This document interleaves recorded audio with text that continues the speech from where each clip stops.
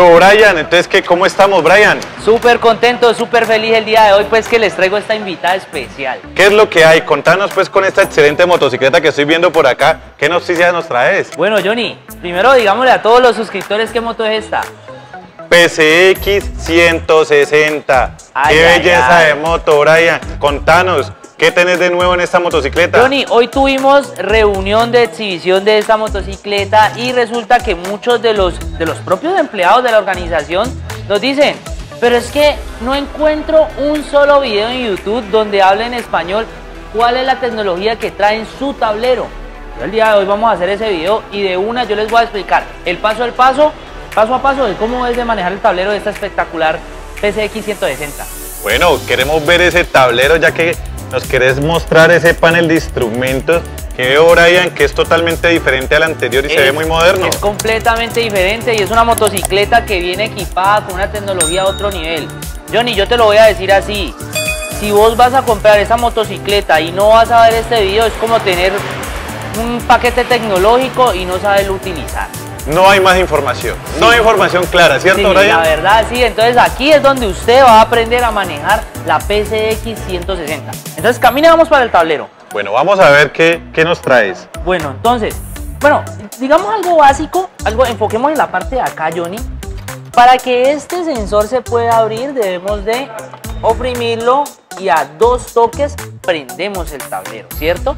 Entonces, pues aquí no vamos a mencionar nada de la llave, porque vamos a irnos netamente al tablero, para que lo tengan en cuenta. La llave les voy a dejar otro video aparte, ¿listo? Entonces, En con el encendido ahí vamos a ver solamente las características del del tablero, Brian. Sí, tablero para que este video no se haga muy largo y para que ustedes no se me aburran y vean otro contenido más adelante. Entonces, bueno, caminamos para el tablero, Johnny.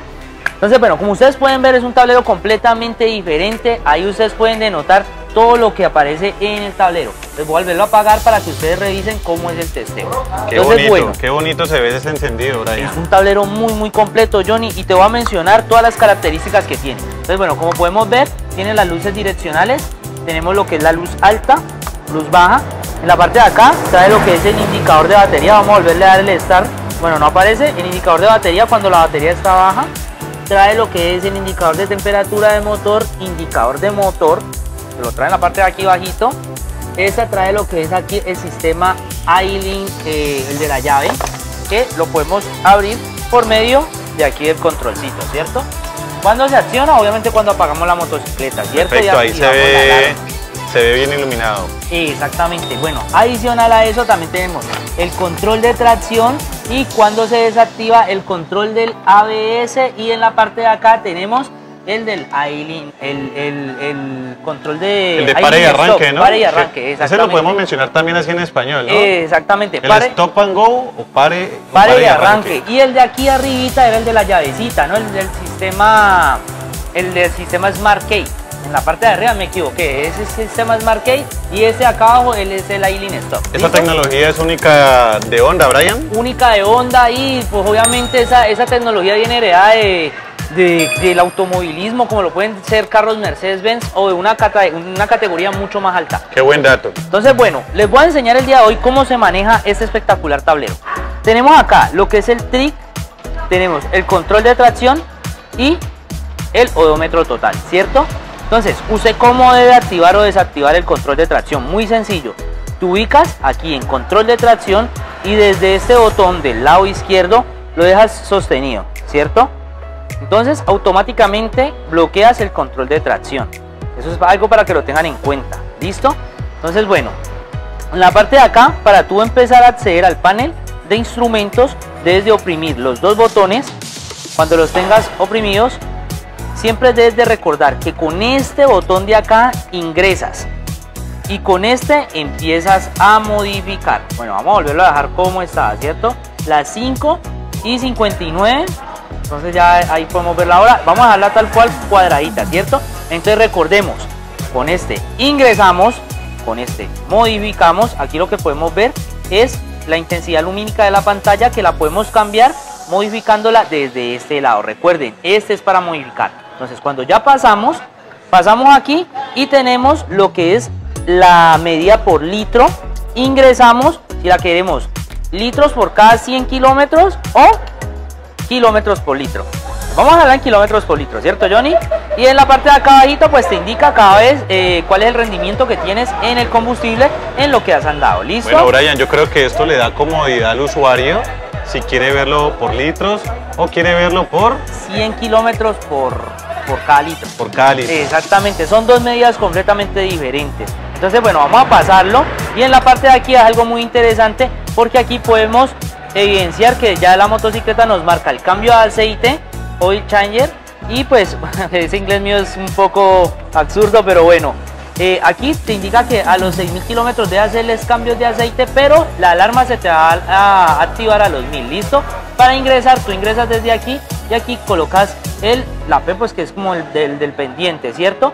Para pasar, simplemente le hundes el otro botón y esto es una novedad que trae la PCX 160 eh, que esto lo que nos indica es que es de cambiar la correa a los 12.000 kilómetros. Igualmente ingresas acá y aquí lo empiezan a modificar.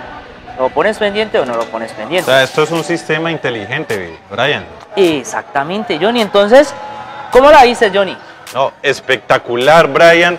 Creo que, como lo dije ahorita, una motocicleta inteligente con unas cualidades supremamente importantes y que le van a brindar comodidad, seguridad al cliente. Te cuento que ese tema de la tracción me una, quedó una cosa de locos. sorprendido. Johnny, esa tecnología tan increíble en una motocicleta 160 centímetros cúbicos, la verdad son tecnologías que, te lo digo, no lo encontrás ni en la XR 300, Johnny. Nunca pensé que se hacía de esa forma digital, pensé que era mucho más manual, Claro. que de ¿no? pronto eh, tendríamos que un, un botón, un indicador por estos lados como es el sistema de pare y arranque o sus estacionarias, pero veo que es directamente de la pantalla. Y es súper sencillo, Johnny. Y digamos que esto es un video de que todos los usuarios de esta motocicleta o las personas que están interesadas en comprarla accedan a este video. Algo que me gusta, que yo tengo que mostrárselos en la parte de acá, es que el sensor del ABS se apaga una vez tú arranques la motocicleta, ¿vale? Y cada que tú apagas la motocicleta y vuelves y la prendes, la motocicleta automáticamente en la parte de acá eh, activa el control de tracción. O sea, Honda siempre piensa en tu seguridad. Si tú quieres desactivarle el control de tracción, lo puedes hacer. Así Es, como es algo mostré. similar como eh, nuestros usuarios que son experimentados también en automóviles, saben que cuando encienden su carro, eh, Va a ir con de todas una, las ayudas. Va a ir con todas las ayudas. Y cuando se enciende, también se ve el indicador del ABS, Brian. Exactamente. Entonces, de entrada la motocicleta eh, hace su inicio con todas las ayudas. Porque obviamente Honda piensa en tu seguridad. Pero entonces de ahí para allá, ya, las, las- ya tú lo puedes modificar para que las ayudas queden desactivadas y puedas, si tienes un, una mo- un modo de conducción más rudo, lo puedes hacer y puedas divertirte también en la motocicleta sin ningún tipo de problema. Hombre, Johnny, yo pienso que ya lo hemos mencionado todo sobre el tablero. Ojo que queda muy pendiente el video de cómo funciona su llave y qué es lo que tiene más en estas chapas y digamos algunos datos adicionales que han modificado en la PCX 160. Bueno, creo que la van a sacar del estadio con esta motocicleta, Brian. No, Johnny, hagámosle una tomita por acá, mira, que no la hemos mostrado así encendida. ¿Qué tal? Qué belleza. Qué sistema de de iluminación tan perfecto. eh, muy, muy genial, muy bonito. ese- esa parte frontal. Hombre, brinda gran iluminación. Creo que eso es seguridad para nuestros clientes. Y el, y el día de hoy regalémosle una, una prendidita a los, a los suscriptores. Silenciosito de motor, ¿sí o qué, Johnny?